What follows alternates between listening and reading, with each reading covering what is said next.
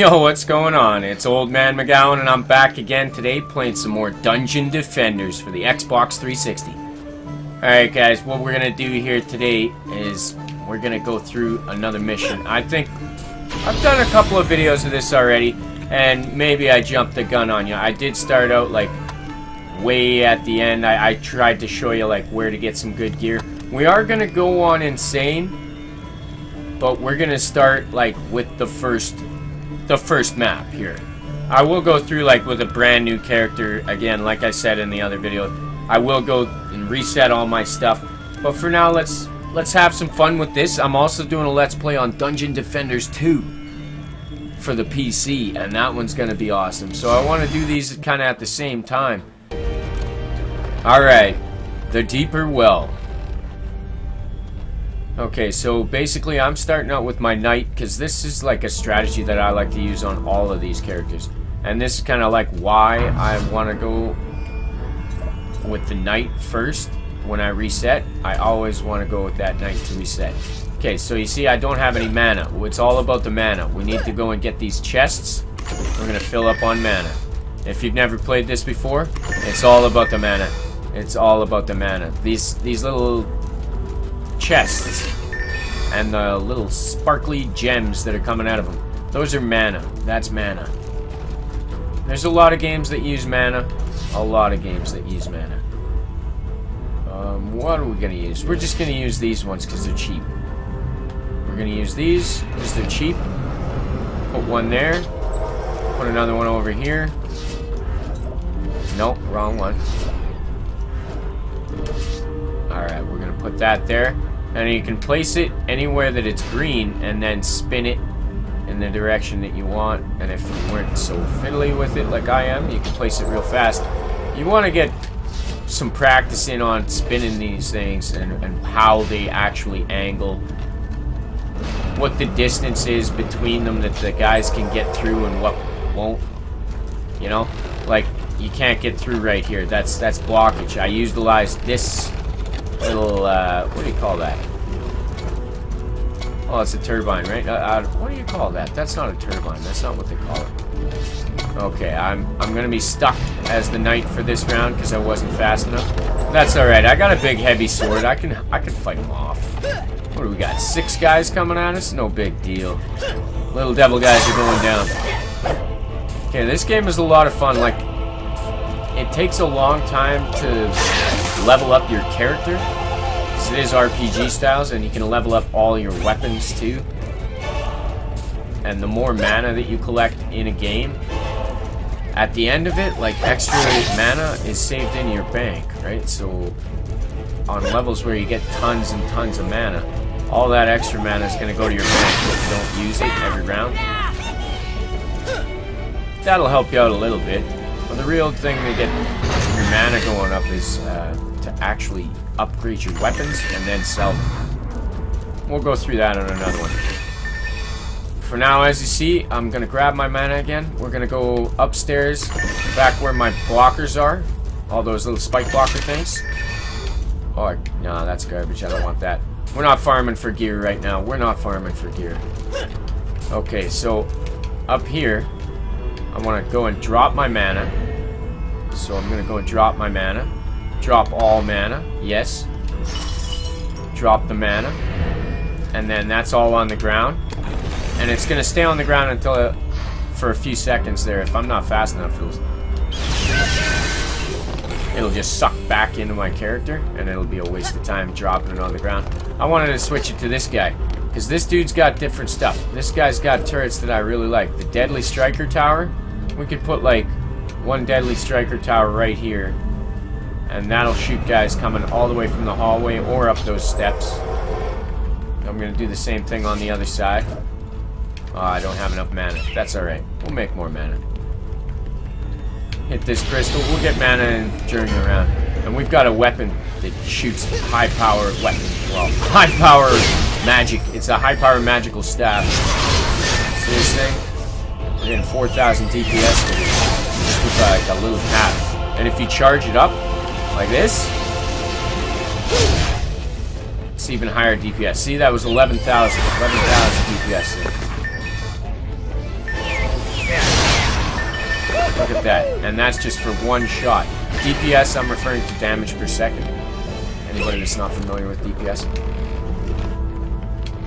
Okay, so there we go. We're good. We're good. We could probably just use this guy and kill all the rest of them. I think this guy, his weapon is actually strong enough that if I was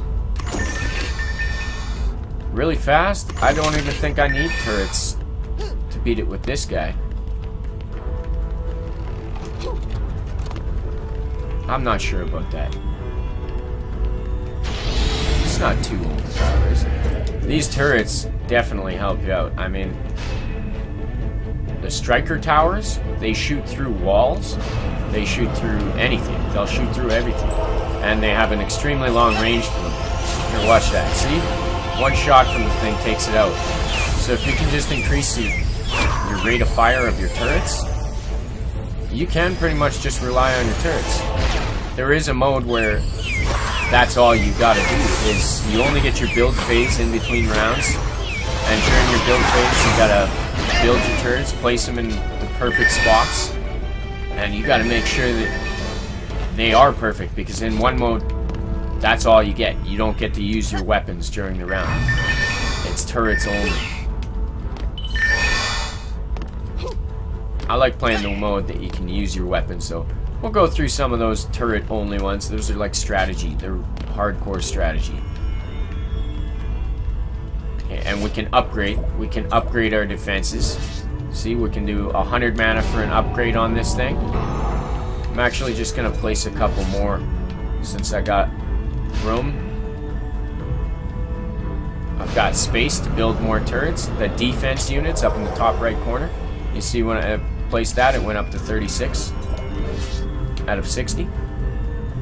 So you got to kind of pay attention to how much you have available for slots and how much each type of uh, defense unit is going to cost you, right? So like here we go, we summon, we got magic missiles are 40, deadly striker towers are 150. That's the most expensive thing that the wizard's got, but he, I think it's the most most beneficial tower most beneficial turret he has. Lightning towers are really good, but they're kind of slow. Kind of slow, it seems. Fireball towers, I like them. And magic blockades, they're really cheap, and they don't actually last very long. Their health is not...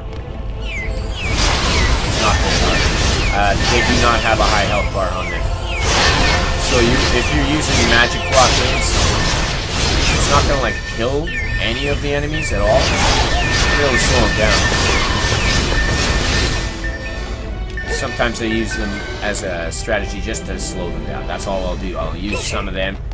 I know that I don't have enough space to actually put something that'll kill them down, so I make them stop in a bottleneck situation kind of thing, like this maybe.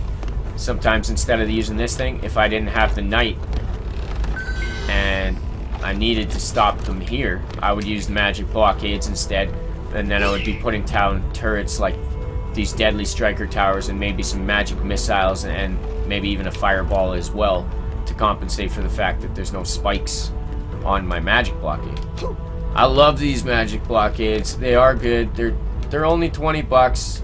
Like it's it's a cheap unit. Cheap's uh, what do you call it? Uh, defense unit anyways. And it only costs one defense unit. See that? There's also, like, that's what you got to pay attention to. That's what I was saying about the defense units and the 44 out of 60. We could place more down. This is the first map of the game, though, so I think that we're going to be fine. It's already the last. We're already on the last round of it. And after that first couple of rounds, I didn't even need to bother with the boxes.